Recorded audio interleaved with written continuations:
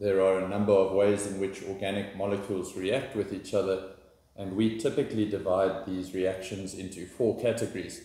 The first of which is the combustion or oxidation reaction, in which any alkane combusts with oxygen to form carbon dioxide and water in an exothermic reaction, meaning a reaction that gives off heat. This is the reaction that we use in burning most fossil fuels. The second type of reaction is called an addition reaction, and an addition reaction is a reaction in which an unsaturated compound, unsaturated referring to a compound here that contains either double or triple bonds, is combined with some small molecule to form a saturated compound, again saturated here referring to a molecule that only contains single bonds. The first type of addition reaction is known as hydrogenation. Hydrogenation is the addition of hydrogen to an unsaturated compound.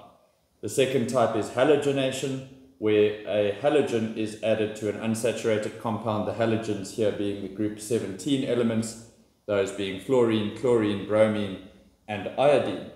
The third type of addition reaction is hydrohalogenation, where a hydrogen halide is added to an unsaturated compound. And finally, there is a hydration reaction in which a water molecule is added to an unsaturated compound, and that water molecule is then broken up into a hydroxyl group and a separate hydrogen. We use Markovnikov's rule to determine where the hydrogen and where the halogen or where the hydroxyl and where the hydrogen are placed on those newly saturated molecules. The second type, the third type of organic reaction is then the elimination reaction, which in many ways is the reverse of the addition reaction, where here we start with a saturated compound and end with an unsaturated compound and some small molecule.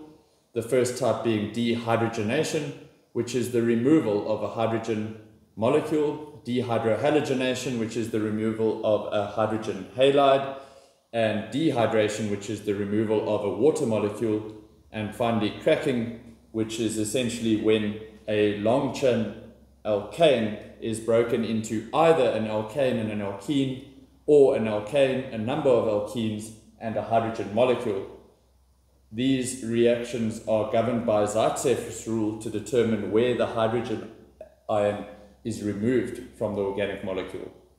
The fourth and final type of organic reaction is a substitution reaction. This is where there is no change between a molecule being saturated or unsaturated. Um, all that changes is that an atom or a group is replaced by another atom or a group. Typical examples here include a hydroxyl group that is replaced by a halogen group and vice versa.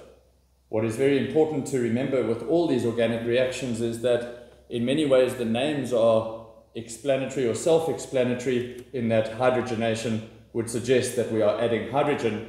The difficult part in this section is to remember the specific conditions that are required for each of these reactions to take place.